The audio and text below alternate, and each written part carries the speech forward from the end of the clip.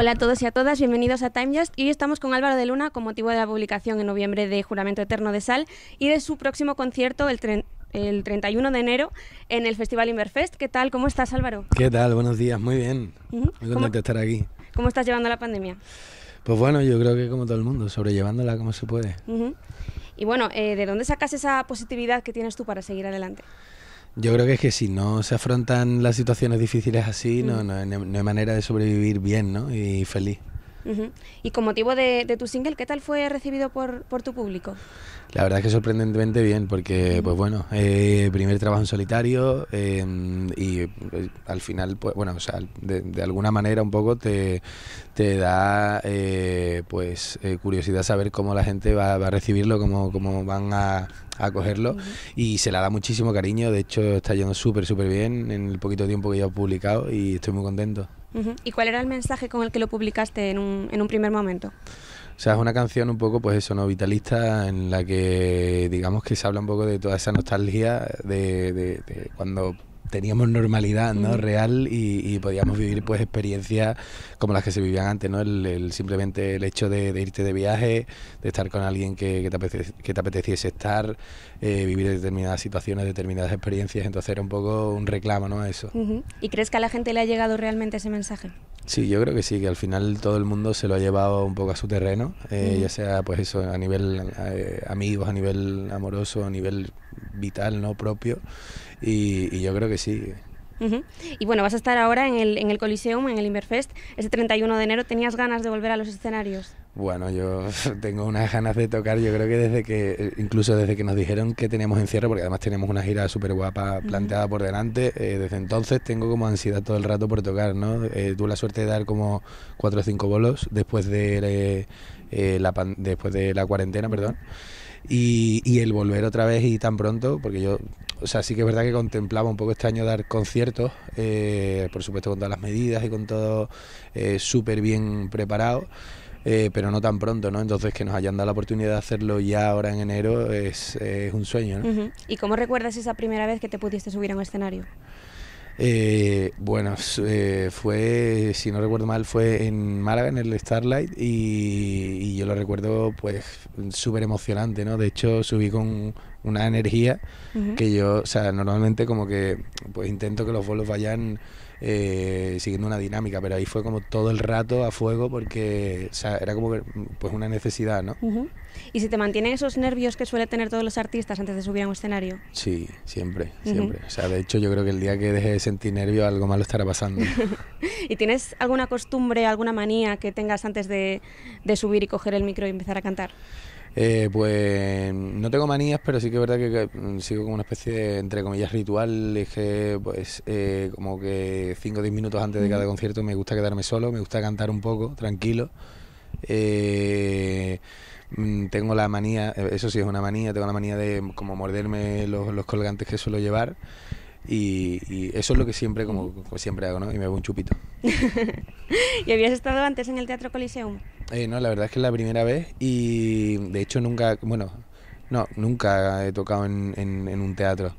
Entonces, como que me hace, pues, en cierto modo, especial ilusión, ¿no? Y que, bueno, va a ser la primera vez, si no me equivoco, que vayas a, tocar tu single, Juramento Eterno de Sal. Eh, ¿Qué vamos a ver en la puesta en escena? Pues a un loco encima de un escenario. no, no, bueno, yo creo que al final pues lo que vais a ver un poco es cómo disfruto haciendo canciones y, yo creo que al final eso se acaba contagiando y, la gente pues acabará disfrutándolo como yo incluso más, ¿no? Y bueno, eres uno de los grandes platos de, este Inverfest. ¿Qué impresión crees que se van a llevar tus seguidores al, verte subir al escenario? Eh, yo espero que se lleven una buena impresión. ¿Y te gustaría Has dicho antes que, estabas preparando una gira antes de todo el tema de la cuarentena y demás. Eh, ¿Sabemos si se volverá, eh, si volverá a, su, a, reanudarse o, o si todavía está... Bueno, yo creo que sí que es verdad que yo, o sea, creo un poco, y porque lo siento así, que el 2021 va a ser más bien un año de transición en el que más, más o menos iremos adaptando los conciertos y, e iremos tocando donde nos vayan dejando. Eh, pero bueno, sí que es verdad que me encantaría que todos esos conciertos que estaban planteados en las ciudades que estaban planteadas, eh, pues que se llevaran a cabo. Lo que pasa que bueno, seguramente tengamos que esperar más de lo que nos gustaría, pero si llega, que llegue, cuando llegue, pero que llegue bien, ¿no? Ya. ¿Y, te veremos solo en el escenario, en el Coliseum, o, veremos alguna sorpresa?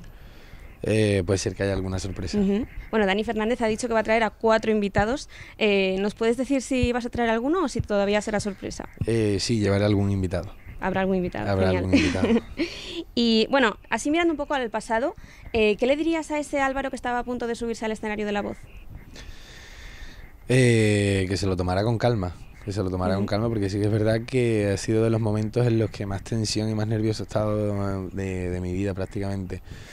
Eh, y eso, que se lo tomara con calma y que lo disfrutase, porque aquello también, pues eso, pasó tan rápido que tampoco lo terminé de disfrutar del todo. ¿Y cambiarías algo de, lo, de tu camino hasta aquí, eh, viendo hacia, hacia atrás todo lo que has pasado? No, la verdad es que no. No, no, cambiaría nada. Y bueno, hablando de, un próximo disco que, probablemente haya tuyo, eh, ¿tendrá alguna colaboración? Puede ser que haya alguna colaboración, eh, estoy planteándomelo porque, pues bueno, como primer disco no sabía si, si hacerlo entero solo o meter alguna, alguna colaboración, entonces es algo que de momento estoy meditando. ¿Y qué tal ha sido trabajar con las que has hecho hasta ahora, con, con Neil y con Freddy Lace? Bueno, la verdad es que eso ha sido maravilloso, ¿no? O sea, son dos personas a las que eh, conozco de hace relativamente poco, bueno, a Neil le conozco de hace un poco más.